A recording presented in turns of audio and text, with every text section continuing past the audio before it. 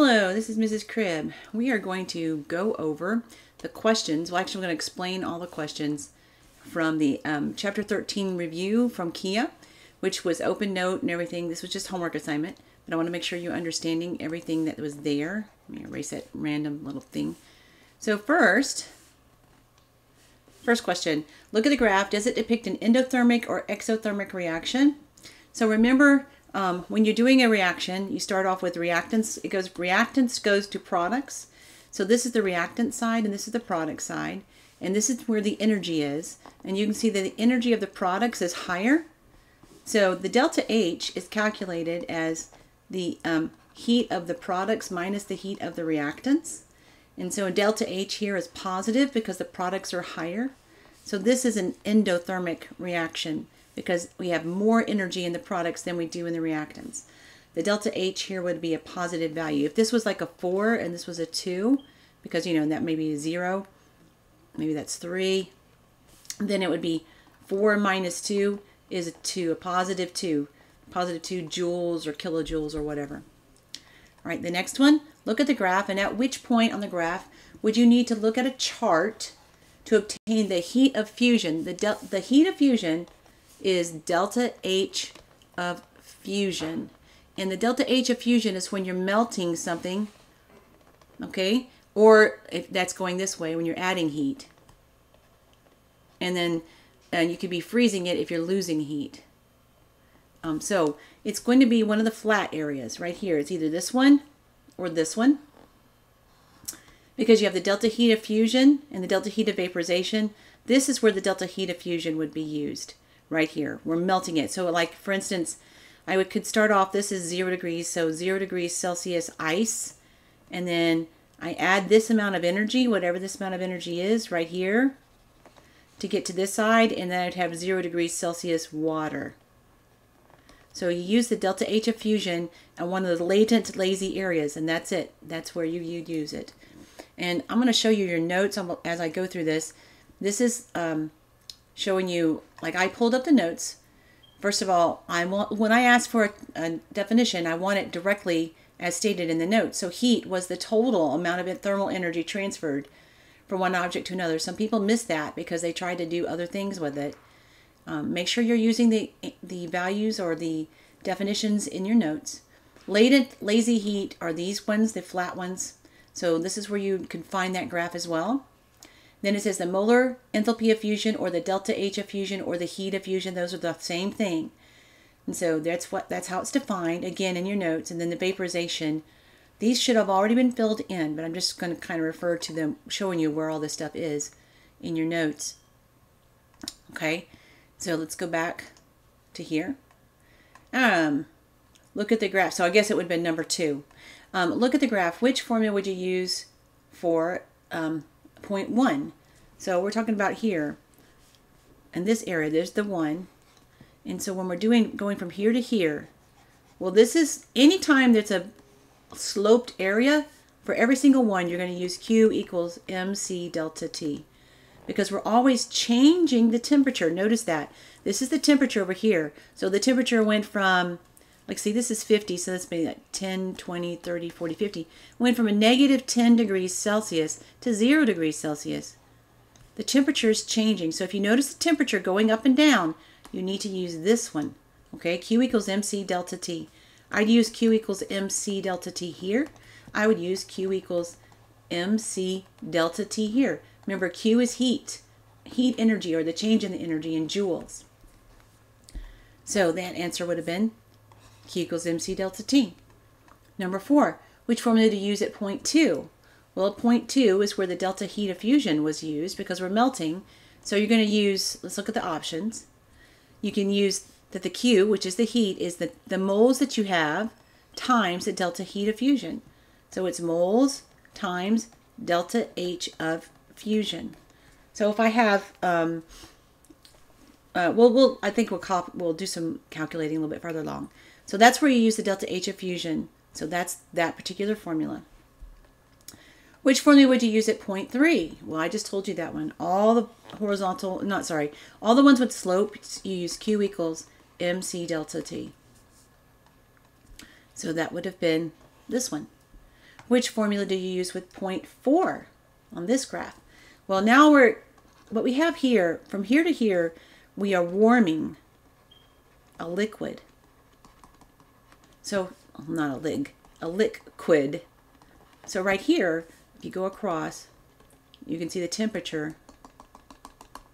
This is a 100 degree Celsius liquid. But over here, it's still the same temperature, but it's a 100 degrees Celsius water vapor or steam. So what happens between here and here? It turns into a vapor. So we're vaporizing it. So you use the delta H of vaporization, VAP for vaporization. So that's what you would use in that. So which formula then would have that?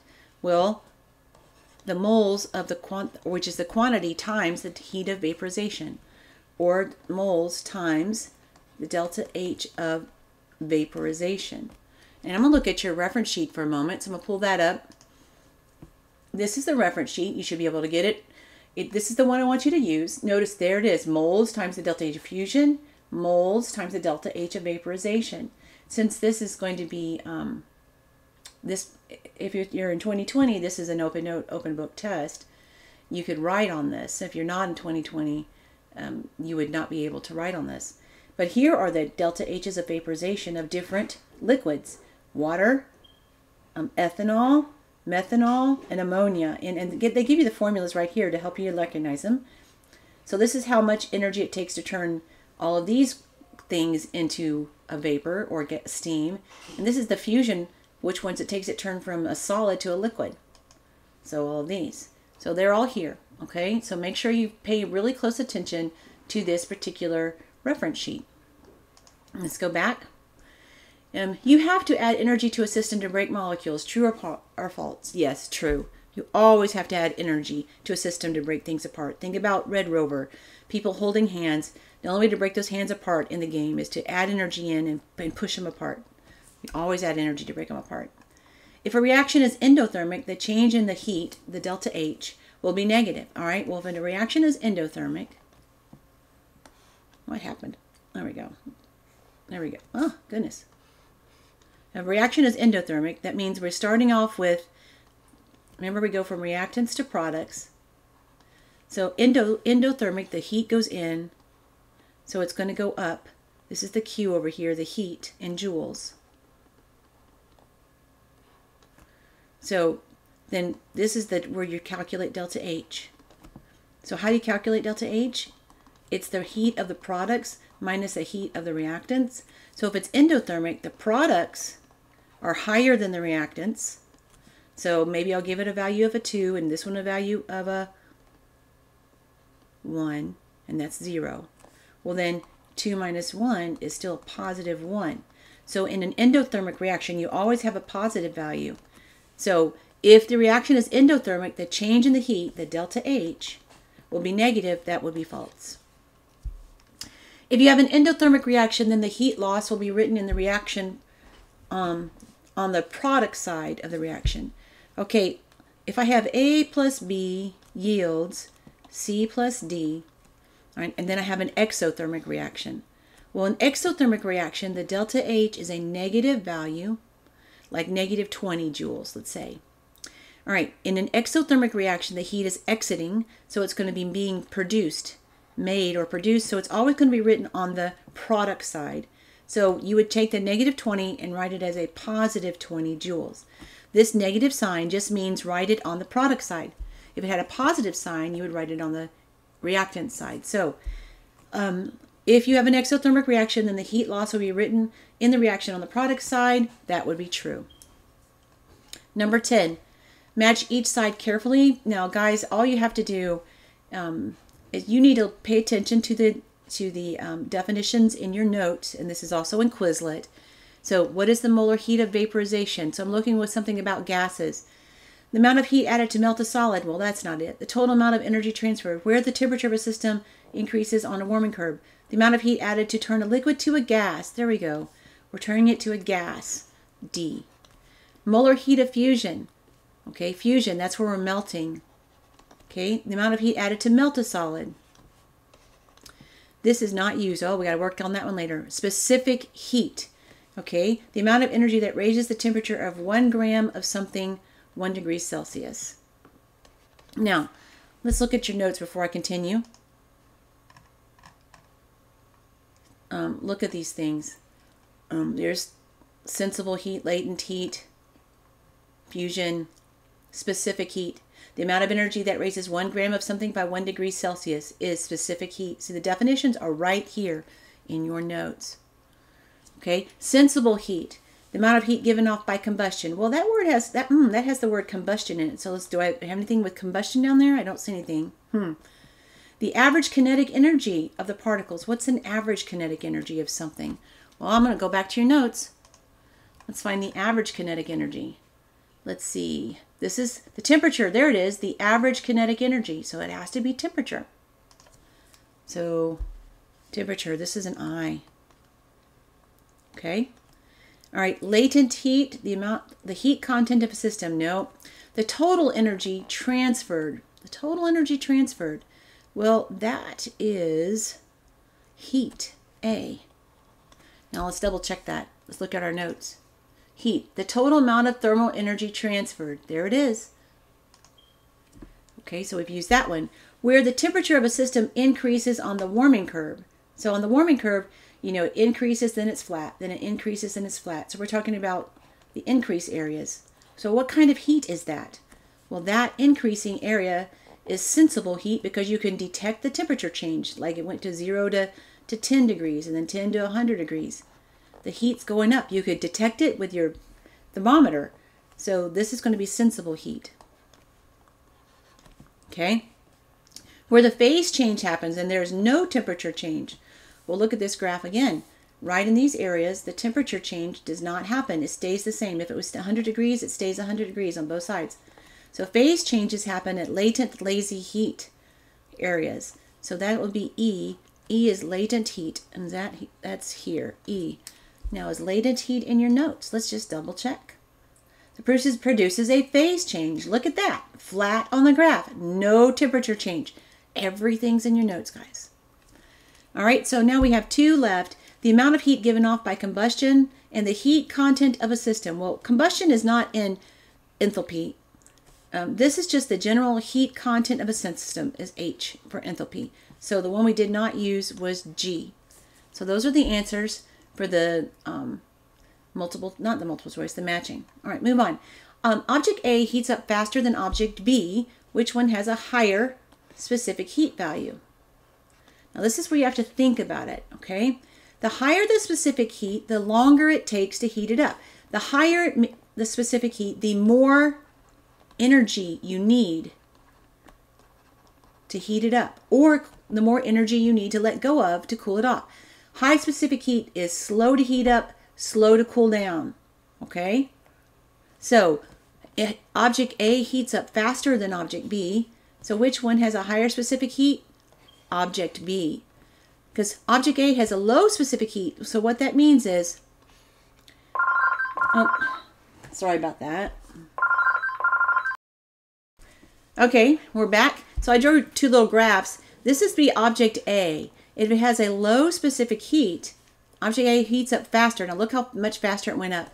Then see, this is the temperature. Maybe this is 25 degrees Celsius and that's zero. And maybe this is 25 degrees. That's zero. Well, this is degrees Celsius on this side, okay? So if it has a, a low specific heat, this is how you can tell a small amount of energy and then the temperature went way up really fast. Okay, this one has a lot of energy, all this energy before the temperature goes up. So it takes a long time. So this has a high specific heat. This would be the high specific heat specific heat. And so it takes a long time to heat up and a long time to cool down. Low specific heat, short time to heat up, short time to cool down. All right, what is the heat of formation for lead? Okay, lead is an element. And anything that's an element, you don't have to heat um, form. It's already there. So it's going to have to be zero. I don't even have to look it up. All pure elements have a formation, heat of formation of zero.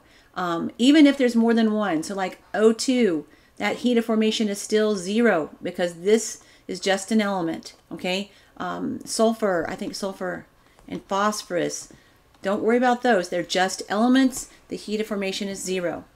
All right, if the heat of a reaction going from reactants to products is a positive 89 kilojoules, what is the heat of the reverse reaction? So if we go to reactants to products, and the delta H is equal to 89 kilojoules. Remember, um, if we go, the delta H is equal to the products minus the reactants. So in this case, to get a positive 89, the um, product would have been higher than the reactant. Well, if I'm going to go the opposite direction, then the delta H would have to be a negative 89 kilojoules. Think about that. So to go to forward reaction, this is called forward from left to right, just like you read. If the heat of the reaction, the change in the reaction, um, we increase the reaction by 89 kilojoules, then going the opposite way, we'd have to let go of the exact same amount. So it would be a negative 89 kilojoules. What is the standard state temperature? Well, standard temperature, this is different than STP. We're not talking about standard temperature and pressure. We're talking about the standard state. Okay, the standard state is the temperature range where you actually um, do stuff. You know, like, so it's a 25 degrees Celsius. We're talking about the temperature where um, when you're in a lab or something. You're not going to work in a lab at zero degrees Celsius. So we're talking about working in a lab at room temperature, kind of. A piece of metal weighs 35 grams and absorbs 185 joules of heat at a temperature increase from, so this would be my initial temperature, to, that would be my final temperature. What is the specific heat, the C of this metal?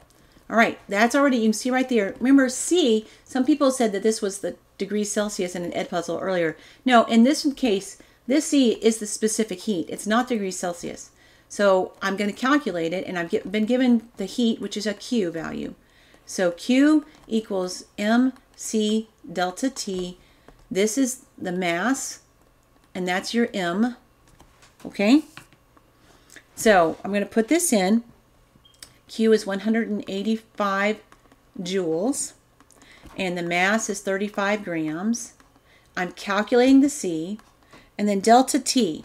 I'm, I can, I'm going to write it here, but or you can write it separately. Like delta T is uh, T final minus T initial. I guess I changed my mind. I'm going to do it over here now. So T final is 63 degrees C. T initial is 22 degrees C. How do I know? Initial is the first one and final is the second one. I'm going from 22 to 63. That's beginning and that's the end. The final one is 63. So when I subtract those two, I get 41 degrees Celsius.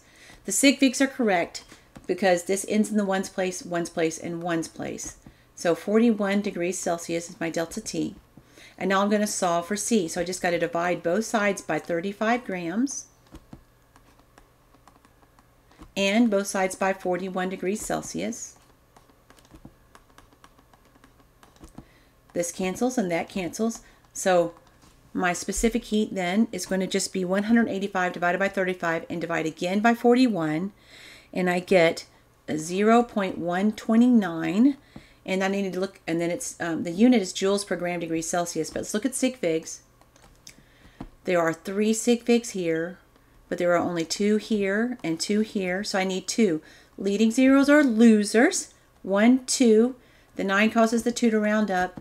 0.13 unit joules over grams and also over degrees Celsius. So 0.13 joules per gram degree Celsius, the first answer. How much energy is absorbed when 99 grams of water is heated from T initial to T final 49 degrees Celsius? So Q equals mc delta T again. I'm asking for heat energy, which is the Q. The mass is 99.0 grams. I'm going to skip this for a second because we're going to look it up. The um, final temperature, so let's, this is what needs to go here, T final, so let's calculate it. T final, T, um, delta T rather, is T final minus T initial, which is 49 minus 4.0, and I get 45 and I have to end in the uh, ones place because That ends in the ones place. So this is going to be fine, 45. So that's going to be my delta T, 45 degrees Celsius. Okay, what about my C for water? Okay, we're going from 4 degrees Celsius to 49, which is between uh, the, the um, freezing point and the boiling point. So this is liquid water. You got to think about that. It's between 0 and 100, so it's a liquid. So now we got to look at our, our uh, sheet for the liquid water specific heat value. So let's see. Uh, here it is. Okay, liquid water, specific heat, 4.184 joules per gram degree Celsius. Um, if you use 4.18, I would be okay with that because it is in two places. I really prefer these up here, but this was just a chart I needed because we needed the specific heats of other compounds, and it happened to list water. So 4.184 joules per gram degree Celsius. 4.184 joules per gram degrees Celsius. And now we're going to solve. Grams cancel, numerator and denominator. Celsius cancels, denominator, numerator.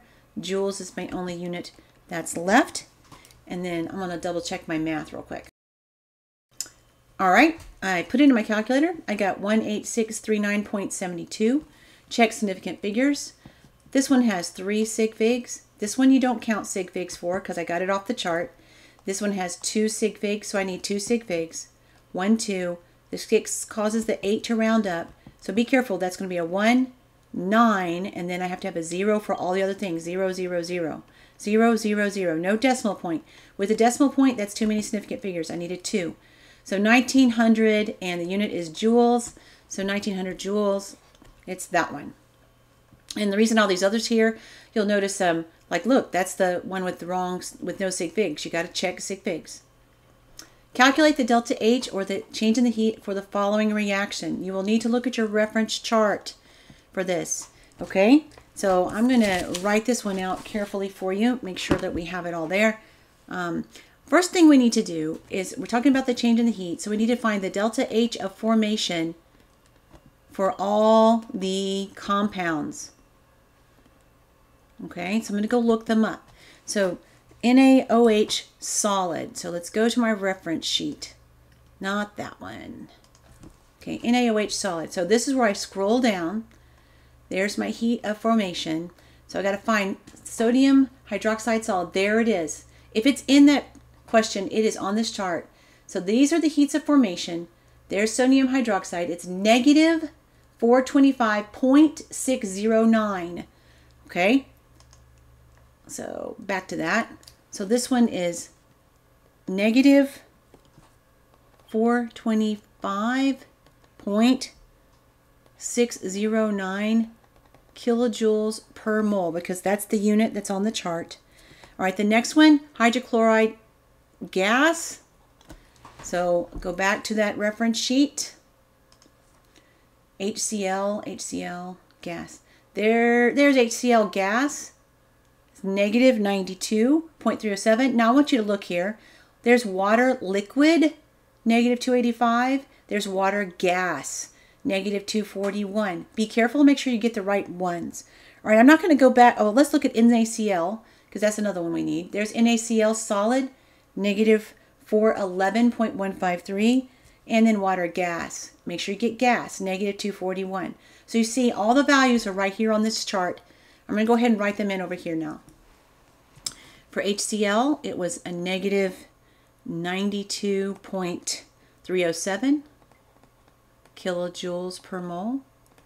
For NaCl solid, it's a negative, that was for HCl, um, 411.153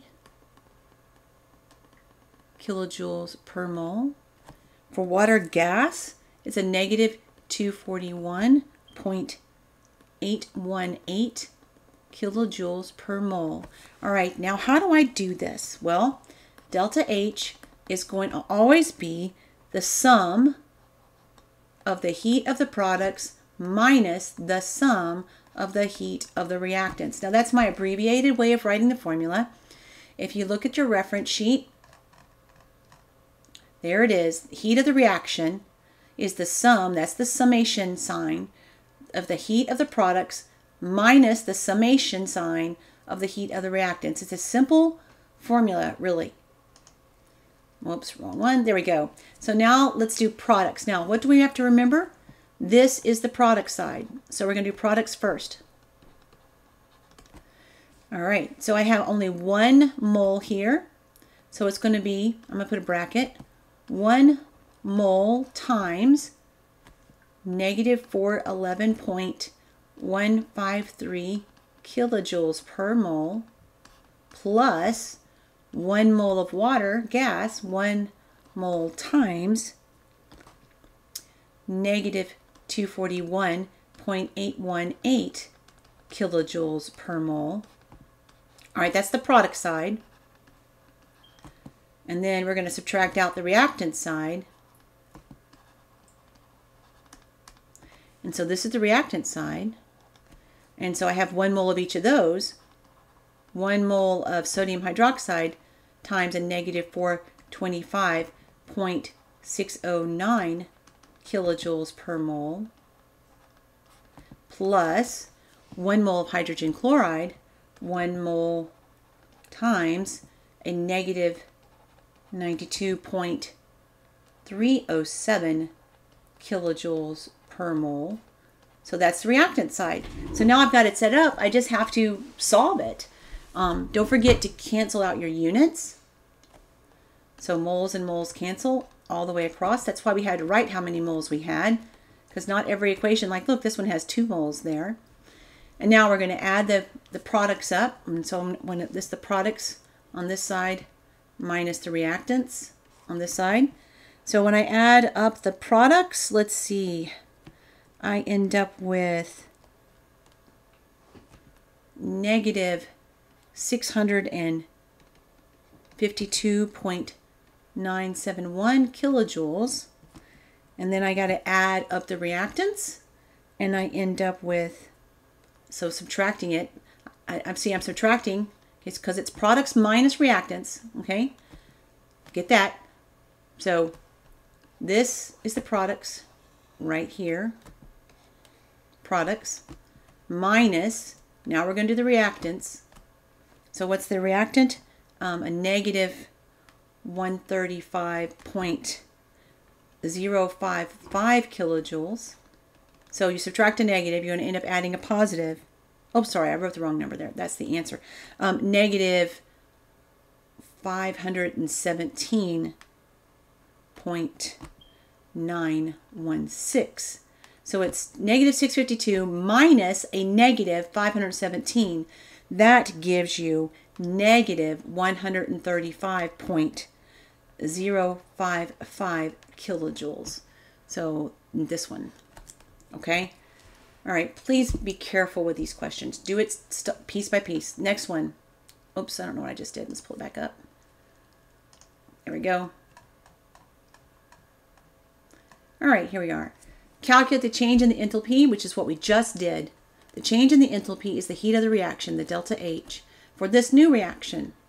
All right, I'm not going to go back to the reference sheet. I'm going to pause it and put all the values right underneath here for you. All right, I went to the reference sheet. I got these values directly off the sheet. Now this is not per two, this is per one. We're going to use, we account for the two when we do the math. Okay, the delta H is still the sum of the heat of the products minus the sum of the heat of the reactants. This is the product side. This is the reactant side. So we do products first. So it's going to be, now notice this time we have two moles. This is the number of moles in the balanced equation. We have two moles of CO2 times a negative 393.509 kilojoules per mole. And that's the entire product side. I don't have to do anything else. Okay, and now I'm going to subtract, because you know, you subtract out the reactant side. So this is the product side. Now I'm going to track, subtract out the reactant side. Okay, and so this is where we're going to have to add it because I have we have two moles of CO2 right there, but we have to multiply it by the the heat of formation, negative 110.525 kilojoules per mole. Now this is zero, so I'm not going to. I can put it in there. We have one mole times 0 kilojoules per mole. Now, why is it 0? Because oxygen is an element. All right, so that's the product side minus reactant side. So this ends up being a 2 times this. The moles cancel. Moles and moles cancel. Moles and moles cancel. This completely goes away because we're multiplying by 0. So this is 2 times the negative um, 393 to get a negative 565.968 kilojoules. And then we're going to subtract whatever was in the second bracket, a negative 221.05 kilojoules. Okay, subtract a negative. What do I end up as my final answer? Oh goodness, I did it again. I looked at the answer. This one was a negative 787.018. Um, I'm looking at my key and I just glanced down at the wrong spot. Um, so that minus that, I end up with the negative 565.968 kilojoules. Not this one right here. Okay? All right. Now this one is the long question. So I'm probably going to need to um, pull up another piece of paper to work this one. So let's just hold on on this one. I gave you a lot of clues about this one because it's a complex thermodynamic question. It has lots of pieces. This is going to have many, many points, probably a nine point question on the test. So I'll pull this up in a few minutes and do this one. We'll skip it for the for a moment. Number 20, calculate the heat of the reaction here. Um, now, again, you just go look all these values up off the chart. Zero kilojoules for this one, negative 74.81 kilojoules per mole for this one. You get all of these off the same reference chart. Make sure you're looking at the states of matter. It's a gas. These things matter this time. Negative 393.509 kilojoules per mole. And for liquid water this time, negative 285.830 kilojoules per mole. To delta, so again, delta H of the reaction is equal to sum of the heat of the products minus the sum of the heat of the reactants. Products. Okay, so when I put these products in, I get one mole, because there's only one mole here, times negative 393.509 kilojoules per mole plus, there's two moles here, two moles times a negative 285.830 kilojoules per mole. That's products minus the sum of the heat of the reactants. These are the reactants. And I don't have to worry about that one because it's just a zero. So it's one mole because there's only one mole of methane times a negative 74.81 kilojoules per mole. I know I'm writing fast. I'm trying to speed this process up. When you um, cancel out these units,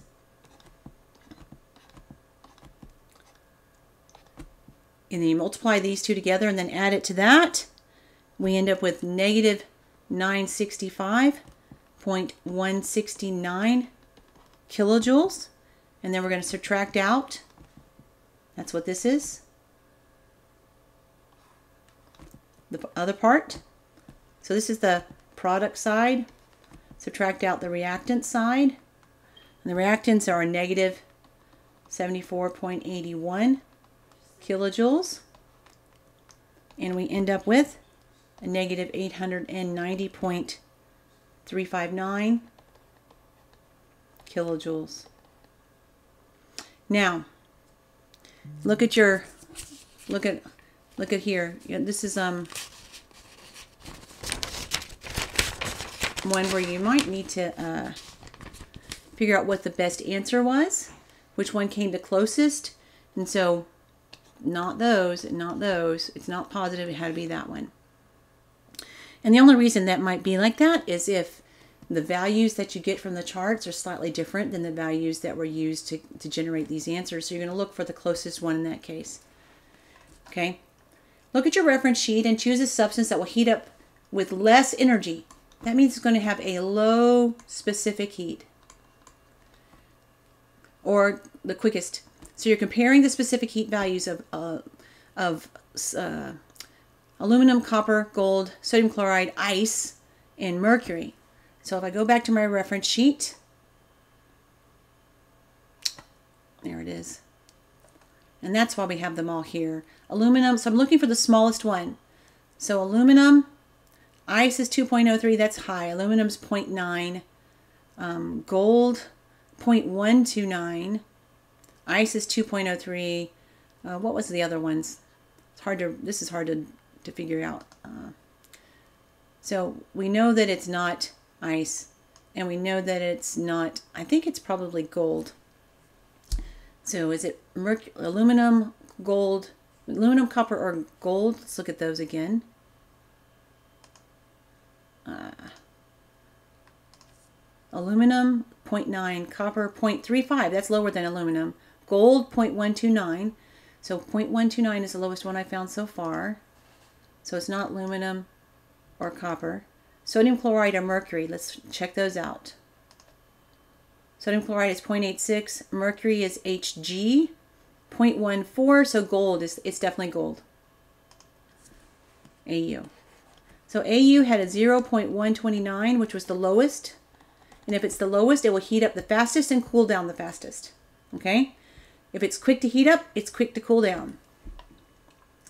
Look at your reference sheet and choose the substance that will cool down the slowest. So now I'm looking for the biggest um, specific heat value. Okay. All right, well, we know it's not gold because it was fast. So now we got to look and see aluminum, copper, sodium chloride, ice, and mercury again. Aluminum, uh, sodium chloride is 0.86, aluminum is 0.9, so 0.9 let's see, water is really high. Ice is 2. Mercury is 0.1. So I think it's ice because water is not on there. Ice is 2. Let's look at it, look and see again. Um, ice is bigger than those, the sodium chloride, ice, and mercury. Ice is 2. Sodium chloride is 0.8. Mercury is 0.14. The biggest one on this chart here is ice and water, so it's ice. Ice is the correct answer on that one. All right, that's all of those. Now I've got to do this complicated question. And I'm going to do it down here in this space because it's going to require a lot. So we're going to calculate the amount of energy it would take to turn 6.5 grams of ice at negative 5 to steam at 110. I'm going to, first, I'm going to draw the chart. And I'm going to draw it here. And this is important because it'll help me to figure out all the cues. So we're starting off with ice. And then we're going to go, ice warms up to 0 degrees Celsius, then that's when it starts to melt. The next time it gets an important temperature is 100 degrees Celsius where it starts to boil. All right, we're going to start off, this ice in this equation is um, negative 5 degrees Celsius, and it's going to get up to steam at 110. So we're starting off at negative 5 degrees Celsius. This is where we're beginning. And we're going to go all the way up here to 110 degrees Celsius. So we're going to have multiple Qs.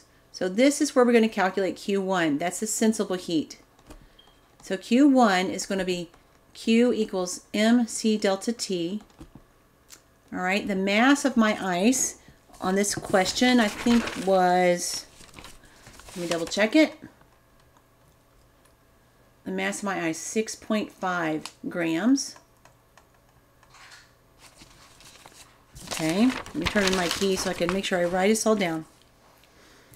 So 6.5 grams, because that's what the M stands for. M is 6.5 grams. Now I need the specific heat of ice. I don't need it of water, so I go and look at my reference sheet their specific heat of ice, 2.05. Do you see that? Right there. There's the ice, there's the liquid water, and there's the steam. I'm not going to pull this back up because this is where they all come from. So the specific heat of ice is 2.05 joules per gram degree Celsius. The change in the temperature, the first change in the temperature is going to, we're going to go from negative 5 to 1, I mean to 0. That's the first temperature change. So T final minus T initial, in this case is negative 5 degrees Celsius to 0 degrees Celsius. Okay? When I subtract negative 5 minus 0, I just get no, the final, that's wrong. The final temp, no, that's, that's correct. No, no, no, I got it backwards. The final temperature is zero. I just realized I wrote it backwards here. It's correct on my key. Sorry about that. Let's fix that real quick. The final temperature, there's my final temperature, T final. So the T final is 0 degrees Celsius minus a negative 5 degrees Celsius. Subtract a negative, we end up with a positive degree Celsius. the temperature is increasing. All right, I multiply this through and I get my first answer of 66.6, but I have to look at significant figures. There's only two sig figs here. Excuse me. And this first temperature, I wrote it as negative 5. Is it negative 5.0? Yes, negative 5.0. So it has to have two significant figures there. So this is really negative 5.0 degrees. So this is a 0.0 degrees because this is from a chart. Well, I guess it's not from a chart, but it's 0, 0.0. So it ends up being two sig figs. So 67 joules is my first Q, Q1. All right, now we're going to do Q2. That's going to be in this area. And in Q2, we're not heating it up, we're melting it. So we're going to need the delta H of fusion. So we use the, the formula, the moles is equal times the delta H of fusion. Well, I don't have the moles. I have the mass. You have to remember to turn mass to moles. So 6.5 grams of water. What's the molar mass of water? 1 mole. And so water is H2O. So 2 times 1.01. Oxygen is 1 times 16. Add that together, we get 18.02 grams per mole. You got to multiply 2 times this to equal 2.02 first. All right, so I'm going to turn my mass to moles. And when I turn my mass to moles, um, I get 0.36 moles. All right, so that's what I got to use there.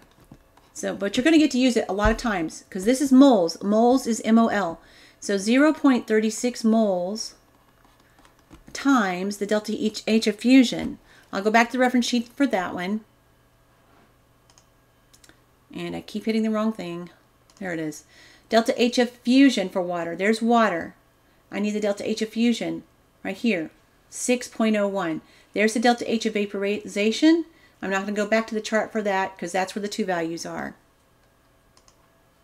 So the delta H of fusion is uh, 6.01 kilojoules per mole. Moles cancel. So this value is 2.16. I need two sig figs. So 2.2 kilojoules. That's Q2. All right, now we're going to do Q3. And again, we're going to use Q equals MC delta D, T, because we're changing temperature. The mass is still 6.5. But now we need the specific heat because now it's a liquid. This is where it's a liquid. We need the specific heat of the liquid water, which is 4.184 joules per gram degree Celsius. You get it back off of that chart. And the temperature change. Now this is the T final, and this is the T initial. So the final temperature is 100 degrees Celsius, and the initial temperature is 0 degrees Celsius. So that's just a um, the, the temperature change is 100 degrees Celsius and then um, we're going to use, because, because this is the thing that has a measured value, we'll use that for our sig figs. Then we cancel everything out.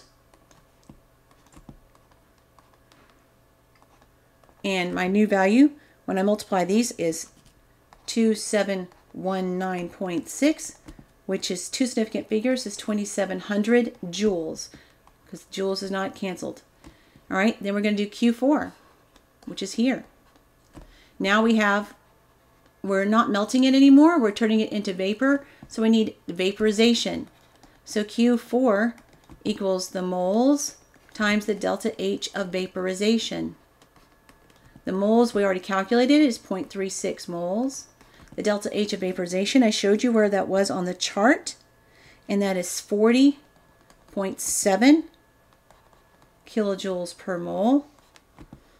Cancel out my units, and it's going to end up being 14.65 kilojoules, two significant figures, because that has two sig figs, which is 15 kilojoules.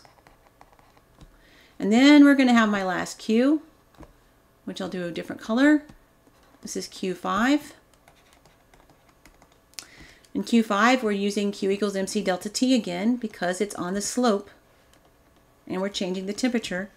The mass is still 6.5 grams, but now I need the specific heat because here it's now a gas. So I need the specific heat of the vapor or the steam. And um, so that was 2.01 joules per gram degree Celsius. And this now is my T final, and this is my T initial. So it's going to be 110 minus 100 this time, which ends up being 100, I mean, sorry, which ends up being 10 degrees Celsius. You cancel everything out. Sorry, uh, grams, grams, Celsius, Celsius, and we get 130.65 with two sig figs, it's 130 joules because joules is what did not cancel. So that's all the heat. Now the final answer though, we just got to add them all together. So the total is going to be all these Q's added together, all of them. So it's going to be 67 joules plus um, 22, 22.2 rather kilojoules plus 2700 joules plus 15 kilojoules plus 130 joules. Well, I can't add it all together because we have some that are in kilojoules. So convert kilojoules to joules. So 2.2 kilojoules. You've got to remember there are a thousand joules in one kilojoule. So just multiply by a thousand. So this becomes 2200 joules. And this 15 kilojoules becomes 15,000 joules because I'm converting it. Now we add it all together for the final answer, 20097. How many significant figures do I need? Well, we got to look at the one with the least significant and the one that's least significant. Well, this one goes to the tenths place, but that one only goes to the thousandths place. So we have to go to the thousandths place. So it's going to be 20000 kilo, um, joules, and um, or you could say 20 dot kilojoules so that we have the right number of significant figures. And that's a lot of work, isn't it? That's a whole lot of points. Please write that down so that you can refer to it. So where would you do up here? Well, the one up here that I did, I said for, look for the one that matches the best. And so in that case, it's going to be this one. Okay? All right, I hope that helps. Please be careful with all this. I'll see you soon.